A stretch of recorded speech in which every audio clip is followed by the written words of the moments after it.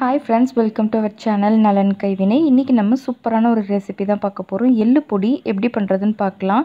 இது வந்து இட்லி தோசை ரைஸ் எல்லாத்துக்குமே ரொம்ப நல்லாயிருக்கும் நான் இங்கே வந்து நூறு கிராம் அளவுக்கு எள்ளு எடுத்திருக்கேன்.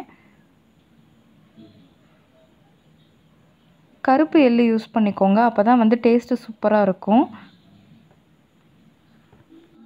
நூறு கிராமுக்கு ஒரு சின்ன பீஸ் அளவுக்கு புளி எடுத்திருக்கேன் பாருங்கள் ஏழுலேருந்து எட்டு காஞ்ச மிளகா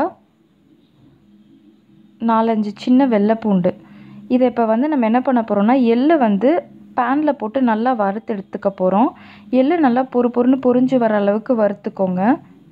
இந்த பொடி வந்து பார்த்திங்கன்னா இட்லி தோசை ரெண்டுக்கும் மட்டும் இல்லை நம்ம ரைஸோட சேர்த்து போட்டு கூட சாப்பிட்லாம். ரொம்ப ஹெல்த்தியான பொடி ரொம்ப கஷ்டமான வேலை கிடையாது.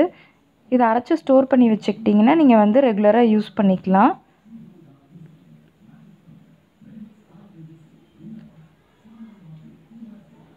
எள் வந்து நல்லா பொரிஞ்சு வந்துடும் உங்களுக்கே தெரியும் நல்லா சத்தம் கேட்கும் அது. சட சடன் வெடித்து வர்ற அளவுக்கு. அதுக்கப்புறம் நம்ம எடுத்து வச்சுருக்கிற எல்லா இன்க்ரீடியன்ஸையும் அதுக்குள்ளே போட்டுருங்க.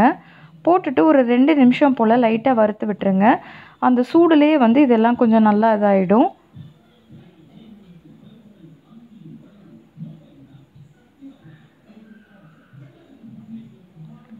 எல்லாம் போட்டு ரெண்டு நிமிஷம் நல்லா வதக்குனதுக்கப்புறமா ஃபைனலாக இதுக்கு எவ்வளோ உப்பு தேவையோ அதுக்கேற்ற மாதிரி உப்பு போட்டுக்கோங்க.